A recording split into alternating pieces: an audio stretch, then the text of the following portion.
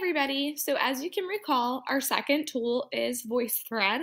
So this is the homepage of VoiceThread. You do have to have an institutional license to be on VoiceThread, which is one of the weaknesses in our SWOT analysis. However, there are many perks and many strengths to using VoiceThread as well. It's very interactive for students. It allows for multiple means of visualization because students can use closed captioning, um, they can use zoom in and zoom out features in VoiceThread. They can also submit comments via video, audio, or textual responses and collaborate with peers and their teachers. Um, they can listen to lectures in case they have a hard time reading. They can use closed captioning in case they have a hard time um, hearing the lecture. There's a lot of great perks to it. So, as you can recall, our sample lesson was for a math class. So, here in the VoiceThread homepage, you can see that we're in the Browse tab. And in our Browse tab, these lessons have already been made by other educators. And then you can also go into the Create tab. And the Create tab is where you can add your own PowerPoint or add your own media to be uploaded, and then you can kind of create your own template. But for the purpose of this lesson, I am going to go ahead and go into our math lesson. So we are a fourth grade math class, so we'll go into K 12. If you are looking for something other than math lessons, as you can see, there's lots of different subjects here. If you go into science, for example, there's a couple. And these are just tied to my institutional license, but there might be more in your institutional license. Okay, so now that we know how VoiceThread works and the bank of questions and bank of presentations we can use, as well as how to open our own templates, we can go ahead and get started on our example.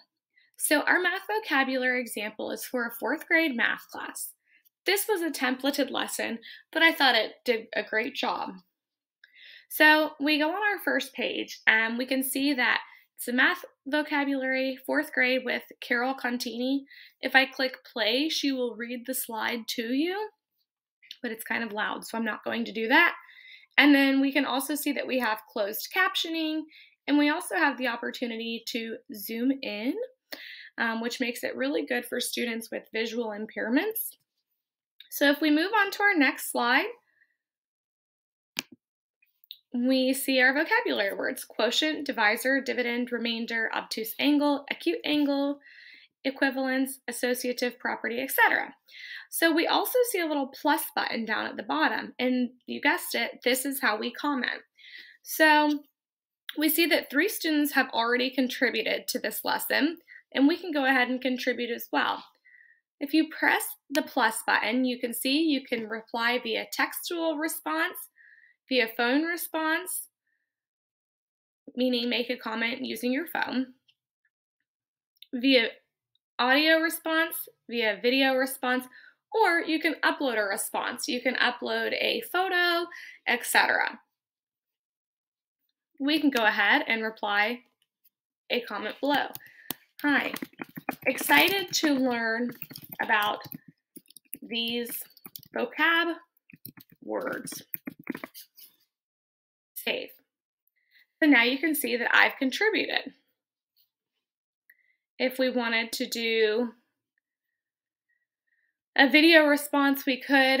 I don't want to interrupt the recording of my tutorial, so we won't do that for now. But you get the gist. If we wanted to zoom in because we have a hard time seeing, we can zoom in by using the plus button. And if we want closed captioning, if we were to click play, we can go ahead and try it now.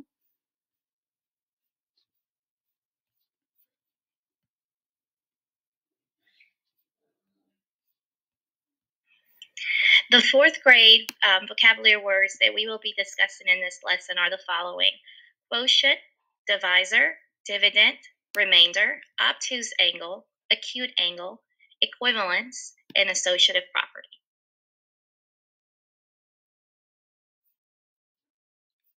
So I didn't hear, I didn't see the closed captioning on this specific slide, but you can have them.